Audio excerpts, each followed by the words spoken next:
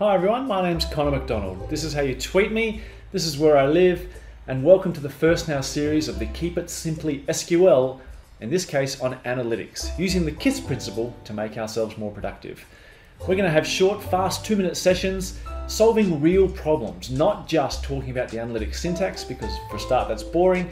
And the other thing is the syntax is really trivial for analytics. This is pretty much all of it. We have a function, we have the keyword over, and then we have three clauses, partitioning, sorting, and windowing, and we'll cover those off today pretty quickly.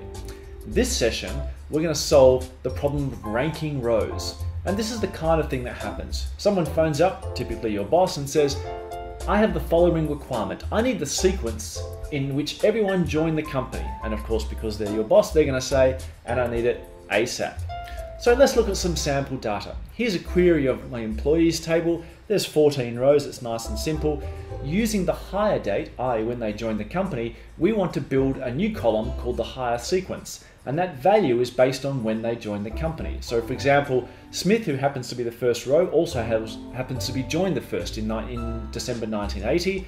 But Adams, the third row there, well, he joined in, 19, in January 1983, so he was hired last. We want to assign a number in the order in which everyone joined the company.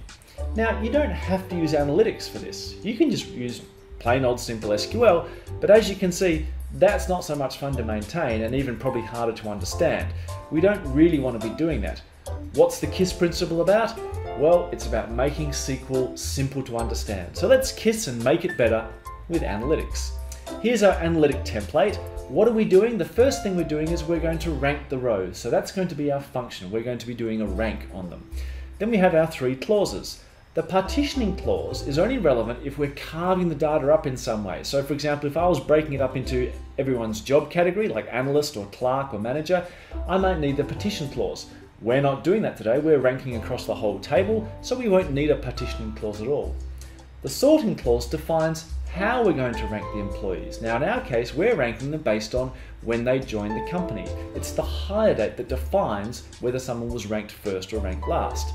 So, in our case, our sorting clause is order by hire date. That's when we're going to be ranking them. The final one is the windowing clause. The windowing clause is as I'm scanning through my table and I'm on a particular row, do I need to include information from rows that might be surrounding that particular row? In this case, we're not doing any of that. We'll talk about windowing clauses in future videos. So once again, we don't need that either. So there's our result, rank over order by hire date. Let's insert that into our query. And there we go. There's our hire sequence number as we wanted. And the problem is solved with a very, very simple analytic function. You can run this demo by yourself or even explore and experiment with it. Just click on the link you can see on your screen there and that'll take you over to Oracle's Live SQL and you can play with the example there with the same sample data. The next video session we'll do, we'll look at the different kind of ranking schemes you can have, not just the rank function. But thanks for watching, and don't forget, keep it simple with SQL. See you again soon.